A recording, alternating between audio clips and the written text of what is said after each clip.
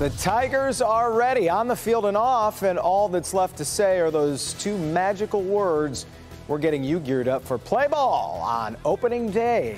Ah, the day is finally here, or the day before the day. Well, we know it's here because the weather's starting to get worse, right?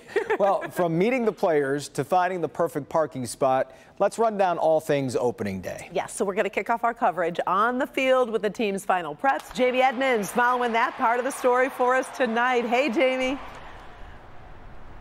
Hey there, Karen, Jason. You know, the Tigers and White Sox worked out on the field here at Comerica Park in advance of opening day. AJ Hinch says the team was more than excited to get on the plane in Florida yesterday and come north. The crack of the bat is back at Comerica Park. Opening day in the D is less than 24 hours away it doesn't matter whether it's sunny, whether it's cold, whether it's snowing, whether it's raining, we're happy to be here. This year, it won't be just a few thousand fans in the stands. It will be a full house. I mean, the, the fans are the ones that deserve to come in here with full capacity. They've, you know, missed baseball.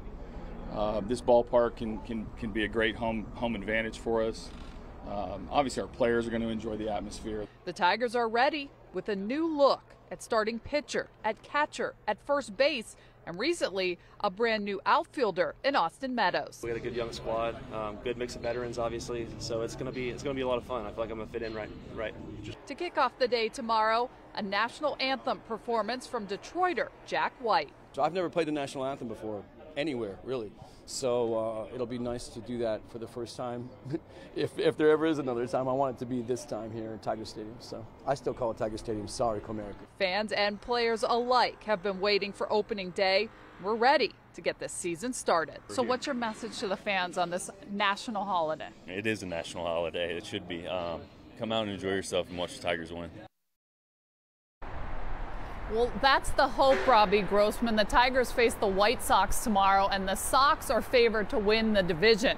As for Jack White, he told me, quote, he's worried that the cold air on the strings of the guitar, he hopes it won't affect the tune of that guitar as he does the national anthem. Guys, it's cold. This winter coat is necessary, but that's just opening day in the D. It really, live tonight. Jamie Edmonds back to you. I was going to say it really is, but you know what? Like they said, it is exciting that we're all starting to kind of get back together, and and you know the crowd is going to be fun. It absolutely will. A full house after yeah. a baseball lockout. Let's go.